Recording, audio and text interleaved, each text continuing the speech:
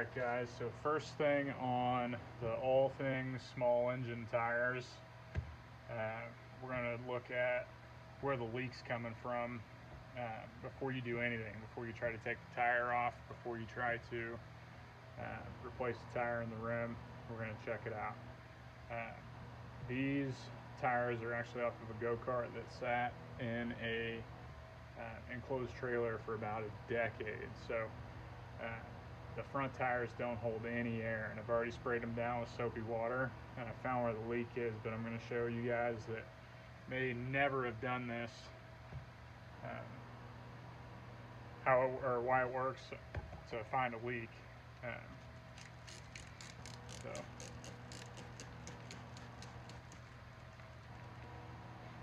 So you spray it on there first and foremost because you want to make sure it's not something easy like a valve stem.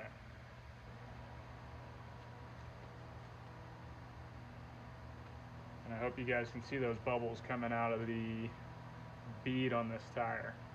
These tires are in pretty bad shape. I don't know if you can see that on camera either, but we know it's not the valve stem, which is awesome. That's good news. Uh, we knew we had to replace the tires anyway, but we don't have to replace that valve stem if we don't want to. However, I am going to show you guys how to replace a valve stem since this is all things tires.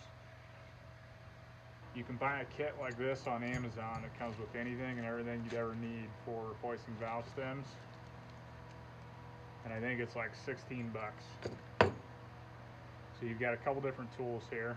And this is actually for threading, rethreading stripped valves. This tool that comes with it. So this is worth the 16 bucks. Now, most people think that you got to replace this entire thing. I shouldn't say most, but I imagine that as if you see this as one assembly, you assume that if this goes bad, you have to replace this whole thing. That is not typically the case. You take your valve stem removal tool. Can you see it here? And here's another guy. And this is going to let all the air off, so I hope it's not too loud you just thread it out. And replacing a valve stem, if you had sprayed this with soapy water and you got a bunch of bubbles coming out of this valve stem, this is the culprit. Super easy to replace. You take that, take a new one out of the bag, put it in, thread it until it's just snug. You don't have to over tighten it at all. And voila, you're done.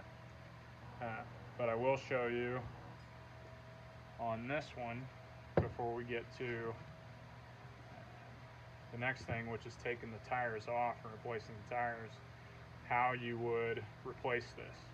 These are a son of a gun to get in and out, which is why you need the soapy water.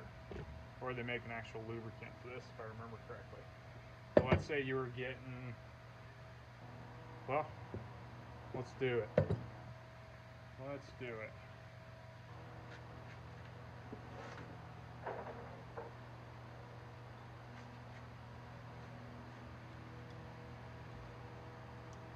Let's put the valve stem back in just for funsies.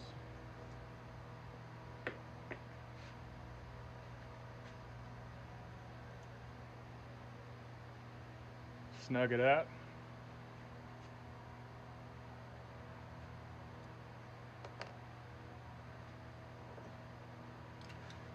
A little bit of air in there. So we've already sprayed it with soapy water. We know the valve stem's not bad, but let's say it is this rubber assembly.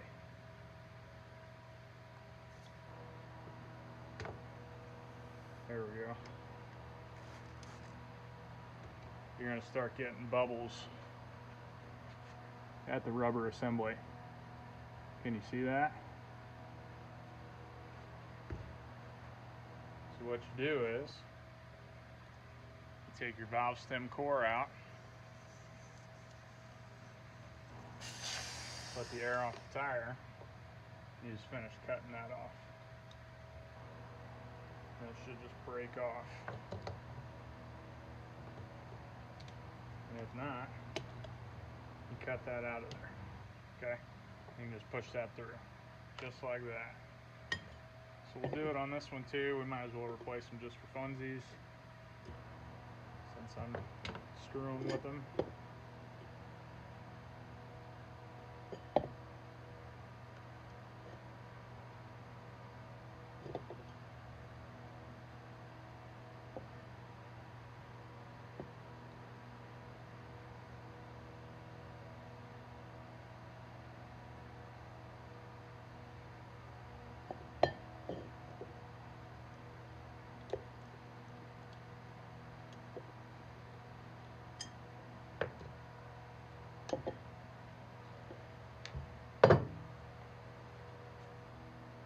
Bingo.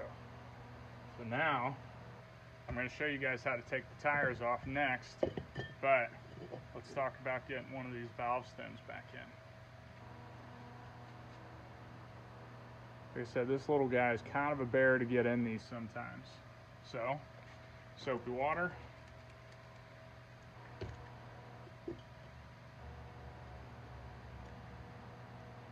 Try to work that guy in there.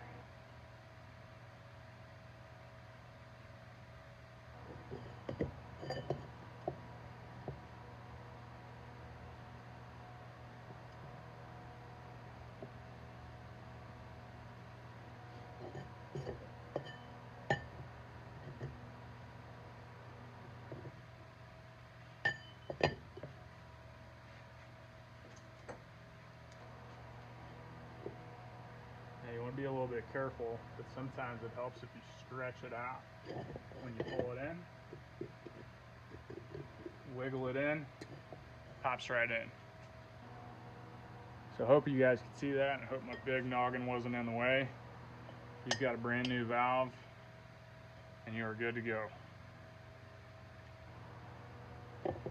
Easy day, easy day. Let's set that aside. Because now that I've shown you that, super simple, I want to show you how to break the bead on these tires and replace these tires.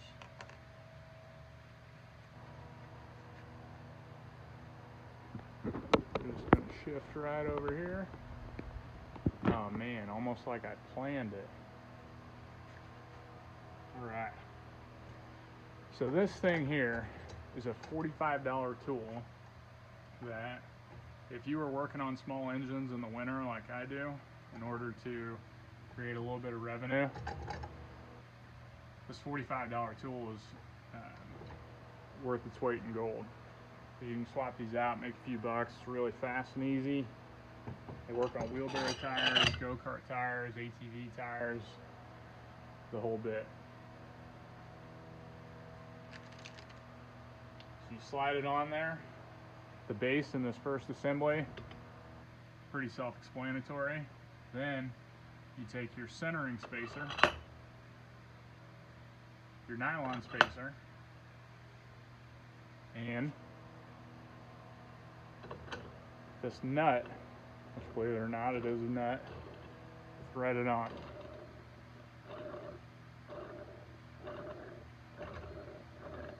These beads are tough to break, believe it or not, once they've been set. And even though it's leaking, we still got to give it its proper respect because it is not something that it's very difficult to break the or to damage the rim. So you're going to want to try to use these or screwdrivers. Do not, please, spend the 45 bucks. Worth the time and energy. And I'll show you why.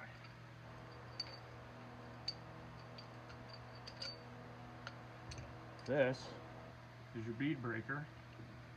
And it just goes just like so. Just like that. And now that your air is out, put your foot up next to the rim. Boom. You see how hard that was, or how hard that came off? That's why I wouldn't recommend digging a pry bar or a screwdriver in there by any means. By any means. Okay. So now, you take it apart.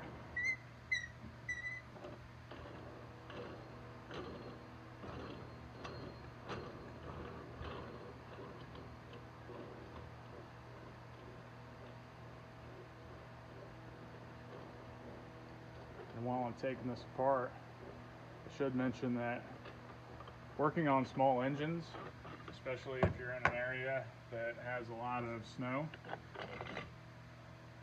but you don't want to do snow removal, it's a pretty nice market to fix um, snow blowers. Because we had a ton of snow last year,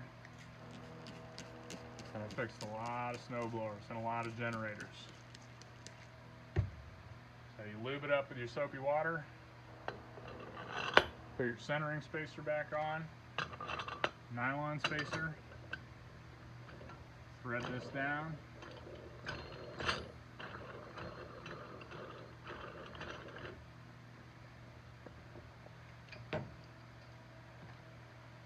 This time around when you put your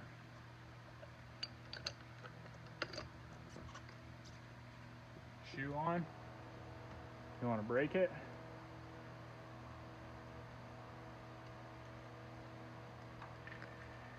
And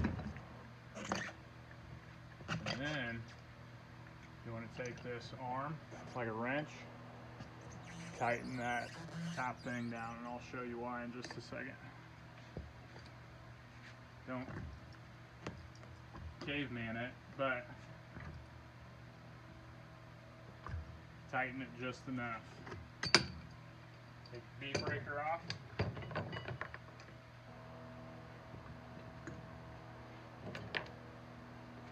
Take this magical tool, this is how you get the tire off. This ball in, give it another spray with soapy water just for fun so you don't mess up your rim too bad because you're going to mess it up a little bit. And then put it on the other side. You're gonna go clockwise with it.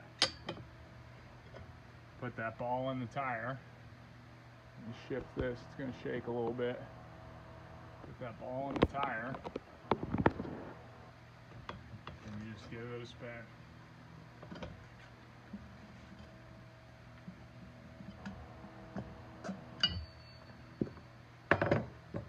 Then,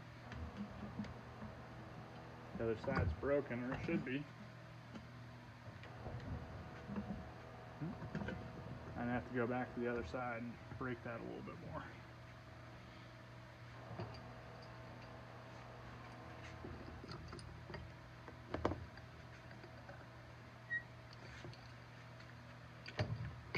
Which may happen.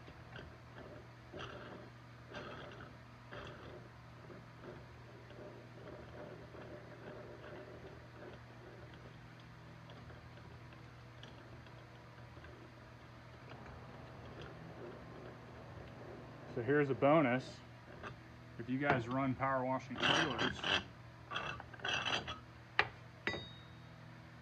and you buy spare trailer tires, you can buy a big one of these for less expensive. Big one of these is actually like 40 bucks or under 40 bucks. Just notice that that bearing needs replaced too. So maybe we will go over bearing replacement at some point.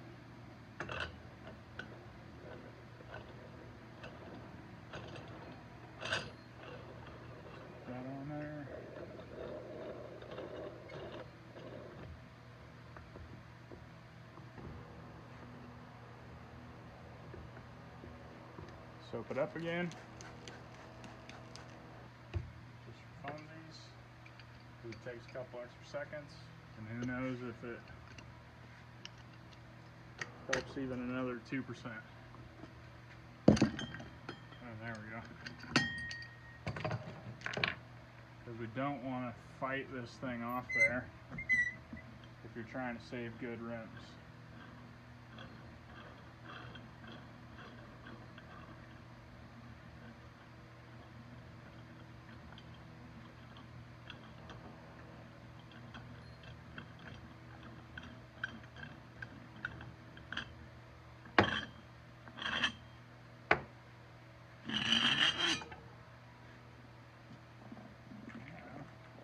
Put it right back on.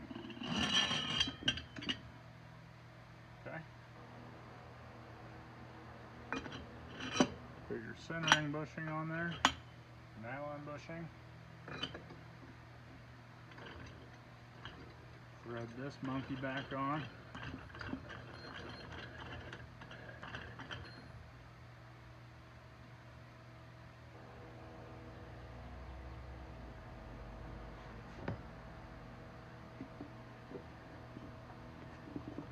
Now, this is one of the trickier parts. I don't know if I can. Can you see that space down in there? Hope so. Because now, what you're going to do is you're just going to get that slid between that bottom part.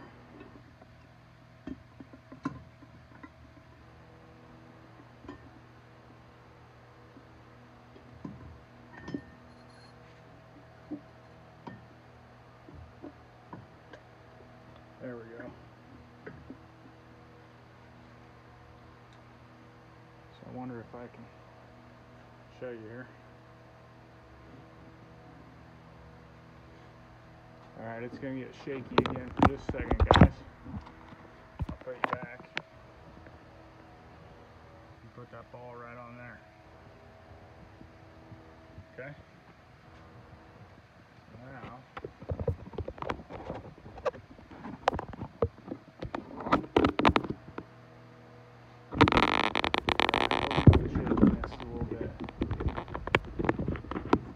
Hopefully that's done for a little bit. Because now you just go clockwise with it.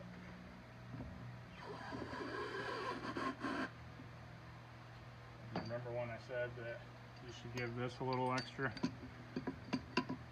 little extra snugness? That's so stuff doesn't spin in there like it's doing right now. There we go. Should keep it just fine.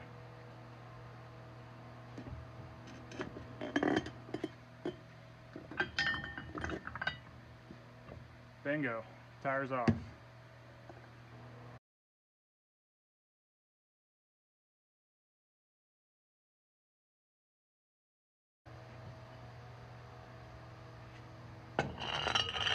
Put the other one back on. Put our stuff back together.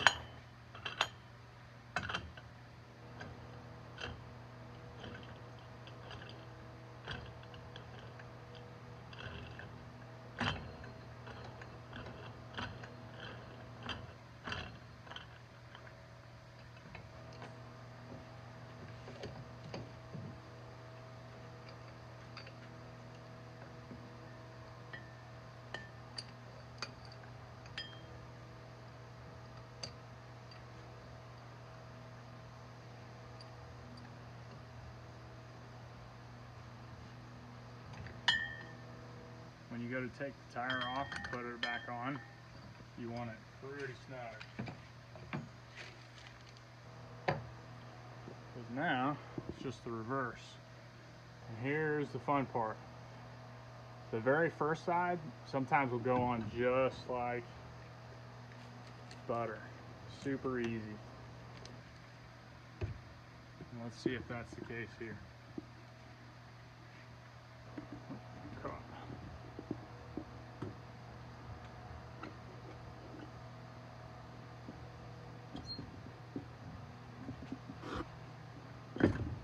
There we go. Not quite like butter, but maybe a um,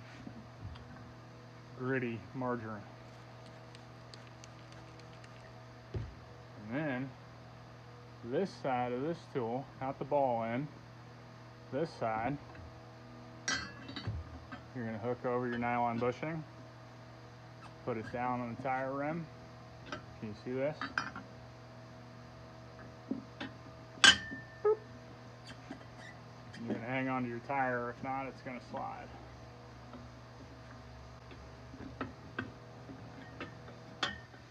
Like this.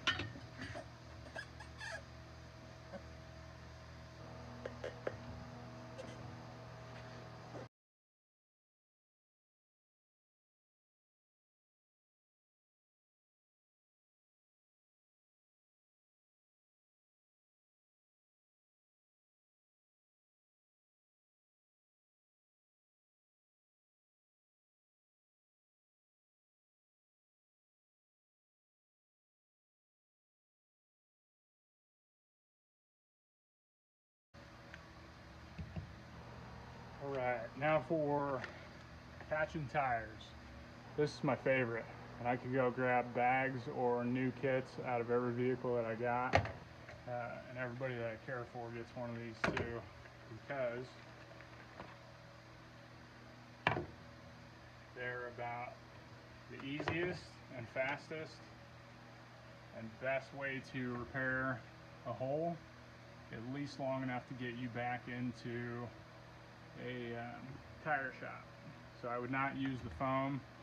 Um, some tire shops will not even uh, entertain replacing a tire, or swapping out a tire if you've used that fix a flat foam.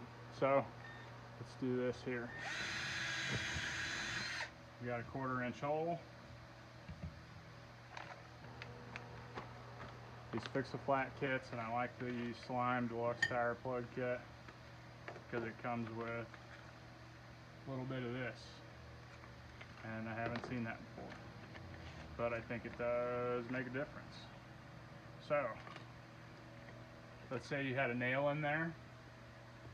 Comes with a reamer. That nail went in there cockeyed or it's smaller than a quarter inch and you need to be able to ream it out. You put the reamer in there and just file it out. And then you take your replacement. You see there's a few of these missing. There's at least two on the Tundra right now. And they've been holding there for months. So the tricky part is it comes with this little tool here. Trying to get some of this stuff pulled through. So it might make sense to even put a cheap pair of pliers in the bag with it. Just getting this through is the only hard part really.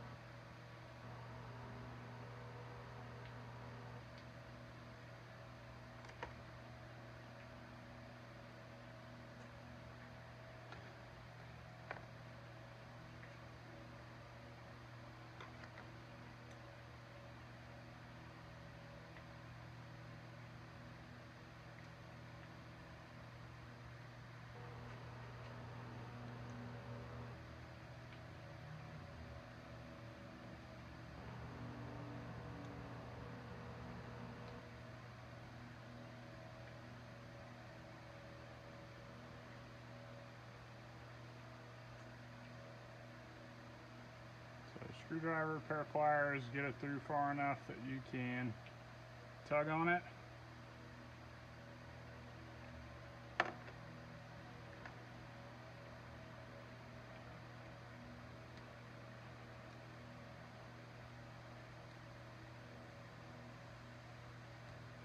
There we go.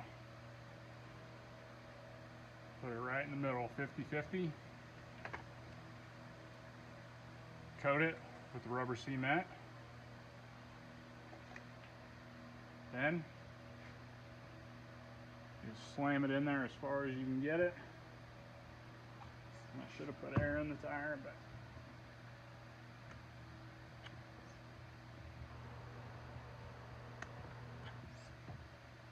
there we go. And if you can get it all the way down to where only about a half inch sticks out, you give it quick, fast, hard tug. Can you guys see that?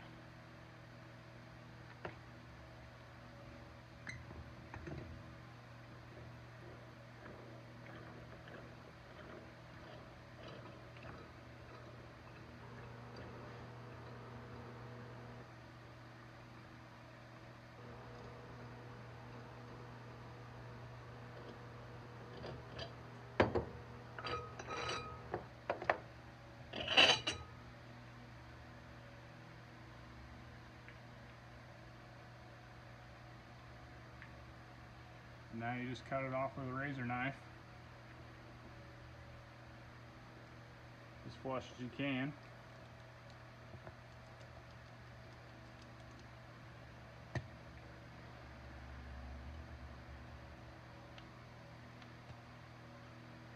And you are back in business. Now that'll hold air. Uh, maybe not on this tire because I've beat the death out of it and I don't have the bead set all the way after putting it back on. But um, there you go. There's all things small engine, go-kart, and ATV tires. I hope that's helpful. Thanks for watching.